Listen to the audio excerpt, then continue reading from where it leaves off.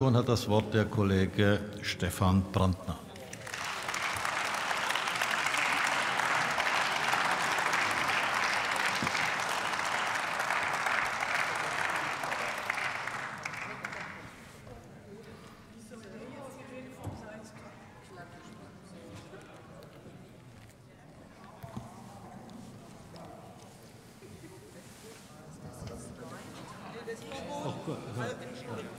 Herr, Herr Brandner, nehmen Sie bitte diese, diese, den Mundschutz da weg. Ja, sonst müssen wir das alles jetzt desinfizieren. Machen Sie es mal weg. Legen Sie es mal schön hin oder stecken Sie es ein. Wir machen hier keine, hängen hier keine Fahnen auf. Ich wollte das nur nicht vergessen beim Zurückgehen. Herr Präsident, äh, meine Damen und Herren, Freiheit, Grundrechte, Demokratie, Gewaltenteilung, das waren einst die Säulen unseres Zusammenlebens. Freiheit, Grundrechte, Demokratie, das ist nun das, was Sie von den Altparteien inzwischen seit über einem halben Jahr hemmungslos und schamlos mit den Füßen treten. Meine Damen und Herren, Freiheit, Grundrechte, Demokratie, das ist das, was Frau Merkel, vor der Sie kuschen und krauchen, inzwischen verachtet. Und Sie von den Altparteien machen da alle mit. Das ist erbärmlich.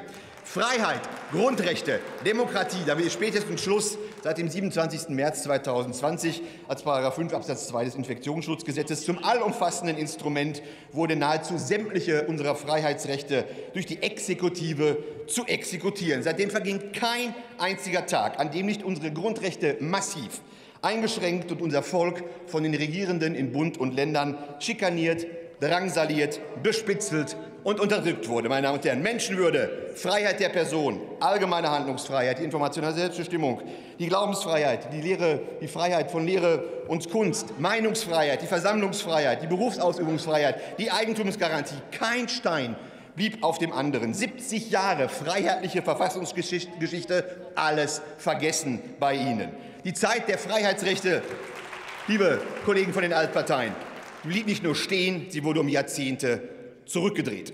Es blieb nur komischerweise ein einziges Recht oder Übel bestehen, das Recht auf unbeschränkte Zuwanderung. Nach wie vor darf jeder rein nach Deutschland, aber wir nicht mal mehr raus aus unseren Wohnungen. Bundespolizisten sollen nun gegen die eigenen friedlichen Bürger eingesetzt werden. Bundespolizisten, die die Grenzen schützen sollen und nicht in Wohnungen rumspionieren, in denen friedliche Bürger sitzen, liebe Freunde. Hoffen wir, hoffen wir, dass wir uns in der Endphase der bundsozialistischen Öko-Merkelatur befinden, dass diese millionenfache Verfassungsbrecherin samt ihrer Helfershelfer, und einige sitzen ja hier vor mir und einige sitzen hier neben mir, ihre letzten Tage im Amt und wenn es nach mir geht, auch ihre letzten Tage in Freiheit verbringt. So wie Merkel uns einsperrt, so wie Merkel uns einsperrt, muss auch sie eingesperrt werden. Einen kleinen Beitrag zur Wiederdemokratisierung unseres Landes soll die Ihnen vorliegende Normenkontrollklage bieten. Ich appelliere hier, Herr Sensburg, auch an Sie, Frau Rottmann hat ja fast dafür gesprochen. Ich appelliere an die Vernünftigen hier in diesem Hause. Hören Sie auf, sich zu Merkels Marionette zu machen. Stehen Sie auf gegen Herr die Kollege Brandner, gestatten Sie eine Zwischenfrage? Und unterstützen Sie unsere Normenkontrollklage. Gestatten Sie eine Zwischenfrage, Herr. Aber immer wieder gerne. Herr Kollege Brandner, habe ich Sie gerade richtig verstanden, dass Sie politisch Andersdenkende, politisch anders handelnde, andere politische Meinung vertretende Menschen einsperren wollen?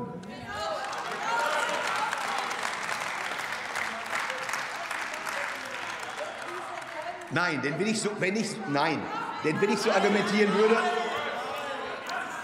also lassen Sie bitte den Kollegen Brandner Nein, antworten. wenn ich so argumentieren würde, wäre ich nicht eine AfD, sondern irgendeine Altpartei. Ich habe gesagt, und ich kann Ihnen das noch mal wörtlich vorlesen, ich habe gesagt, dass die millionenfache Verfassungsbrecherin samt ihrer Helfershelfer nun ihre letzten Tage im Amt, und jetzt hören Sie genau zu, ich rede auch bewusst deutlich, und wenn es nach mir geht, ihre letzten Tage in Freiheit verbringen. Jetzt kommt aber der nächste Satz, so wie Merkel uns einsperrt, nämlich zu Hause in unsere Wohnungen, muss auch sie eingesperrt werden. Das ist der Kerngehalt meiner Aussage gewesen. Ich hoffe, die Frage ist damit beantwortet.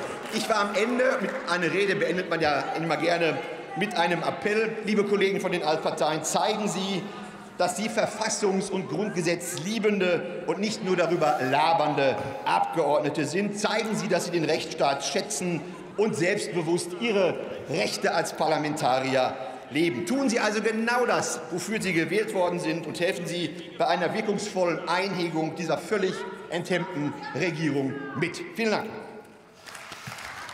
Also, Herr Kollege Brandner, es gibt ja auch in diesem Hause Meinungsfreiheit, aber Sie sollten sich wirklich mäßigen in Ihren Ausführungen. Das ist, äh, geht wirklich manchmal zu weit, was Sie hier machen. Ja, also Entschuldigung. Ja, das geht wirklich zu weit, wenn Sie hier Kollegen wünschen, dass sie, in, dass sie eingesperrt werden. Das kann so nicht sein. Also ich bitte Sie, sich zu mäßigen.